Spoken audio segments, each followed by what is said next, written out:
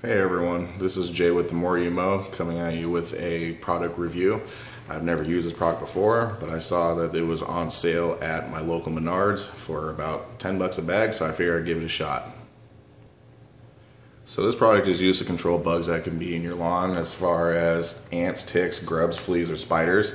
Uh, they have a very long list on the back that shows the, the insects that are controlled and the insects that are killed.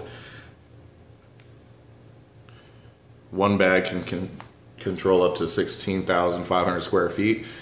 But as far as I'm looking at it, I don't think that the full 16,500 square feet would be controlled for the season long six months as stated on the bag.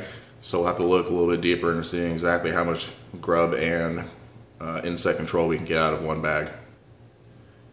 The main active ingredient inside the bag is bifenthrin, which is at 0.0 0.20%, which is a very good um, topical spray to use for your lawn to control insects. So looking at the back of the bag, it'll tell you the application rates.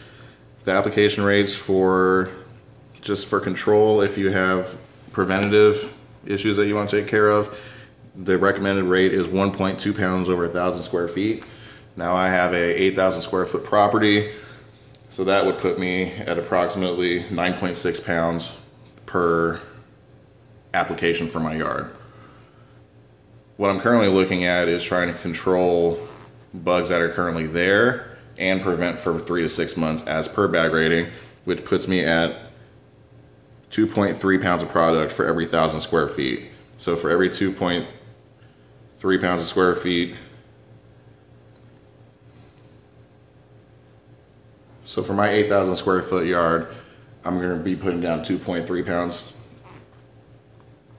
per thousand, which gets me to approximately 18.4 pounds. So I'm going to need about two bags to cover my 8,000 square feet. So I'm going more at the curative rate as opposed to the preventative rate. Depending on the type of spreader you have, there's different ways to apply and set your spreader settings. So for the spreaders they have listed on the back, they show you a Scotts drop spreader, a Scotts edge guard, and an elite spreader, which are all Scotts products. Uh, personally, I have a Echo RB60, and I pretty much mimic the same application rates as the Scotts deluxe spreader or one of the edge guard rotary spreaders. So once you apply your granular, what you're gonna need to do is you're gonna have to water it in. Um, they don't necessarily specify how much water to water it in with, but I'm going to recommend going with about uh, a half inch of water if possible. Once you go and apply and you water it in, it is now safe for pets to go onto the grass. So if you have pets or little kids, make sure that you water in thoroughly the product before you let them go play and enjoy the yard.